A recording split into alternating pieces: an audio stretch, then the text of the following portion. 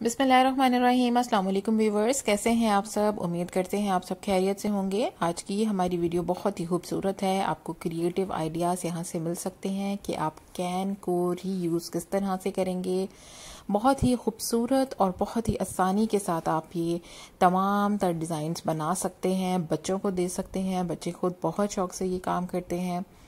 तो कुछ लेसेस वगैरह दे सकते हैं आप बच्चों को, या तो फिर पेपर के भी कुछ पैटर्न वगैरह काट कर, जैसे बटरफ्लाई वगैरह काट कर भी बच्चों को कहें कि इन कैन के ऊपर ये प्लेस करें और बच्चे बहुत शौक से इस तरह के काम करते हैं।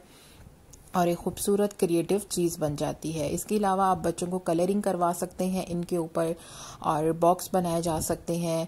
इस तरीके से बच्चों के लिए क्रिएटिव फ्रॉक्स वगैरह बनाकर भी बच्चे एंजॉय कर सकते हैं। लेकिन इसके अलावा अगर आप डेकोरेशन पीस बनाना चाहें तो वो भी आपको बहुत सारे आइडियाज़ मिल सकते हैं। कैन में आप फ्लावर्स वगैरह उगा सकते हैं अपने गार्डन्स वगैरह में रखने के लिए। इसके अलावा बची हुई जो लेसेस होती हैं, उनका इस्तेमाल कर सकते हैं। फैब्रिक के पीसेस कट करके वो उसके ऊपर प्लेस किए जा सकते हैं। इस तरीके से बजरी वगैरह आप इजीली प्लेस करें और उन्हें अपने गार्डन में कहीं पर भी प्लेस कर दें। वो बहुत ही खूबसूरत और क्रिएटिव आइडिया लगता है।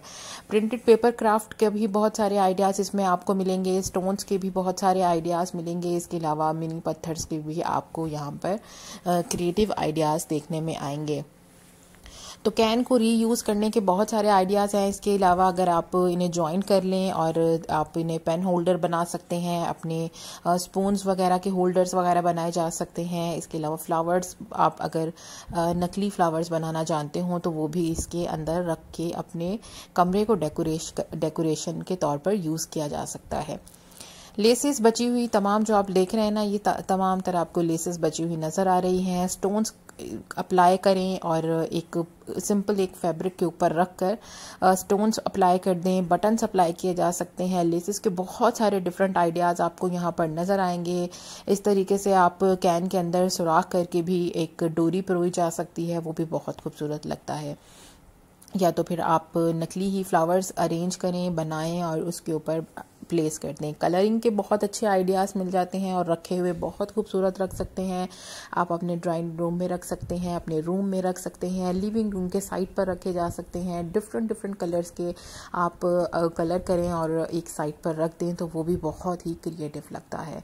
इसके अलावा आप बॉक्स भी इसमें बना सकते हैं। ज्वेलरी बॉक्स अगर बनाना चाहें तो एक ढक्कन के तौर पर आप उसी का जो कवर होता है, उससे पेंट करके उसके ऊपर स्टोन लगाइए या बटन अप्लाई करें तो वो एक उसका खूबसूरत ढक्कन बन जाता है। आप कलर कर लें, आप डोरी साइड पे लपेट लें और लेसिस लगा लें, बटन सप्लाई कर लें, इस तरीके से आप बना सकते हैं। बची कुछ चीज़ों को रीयूज़ करना बहुत ही क्रिएटिव आइडिया है। इससे इंसान का दिमाग भी ओपन होता है और बच्चों को ये बहुत अच्छे लगते हैं इस तरीके से काम करना।